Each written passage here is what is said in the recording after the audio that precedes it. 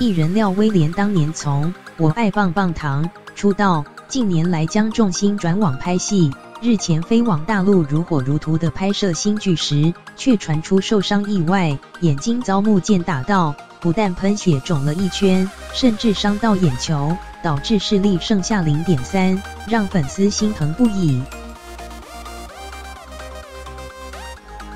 艺人廖威廉，之前我的戏剧环境里面其实没有那么多的台词那么长，而且之前都是一些时装剧梳起古装头，接受媒体探班访问。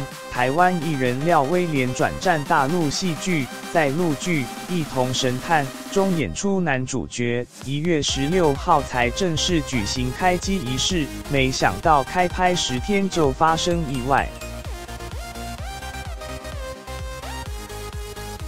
好友吴克群 P.O 出多张威廉的眼睛受伤照片，红肿还有伤疤，看起来相当严重。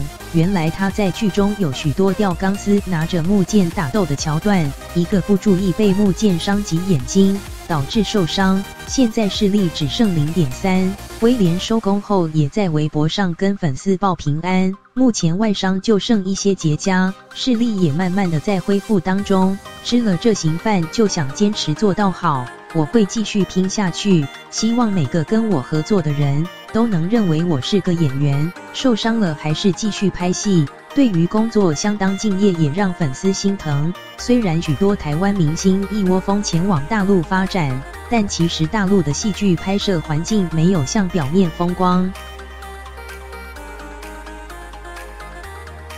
胡歌上节目分享自己在拍戏时，因为不慎坠马，还让手臂脱臼。虽然讲起来轻松，但当时也休养了好一阵子。再来就是先前因拍戏过度，身体不堪负荷而暂停演艺工作的赵丽颖。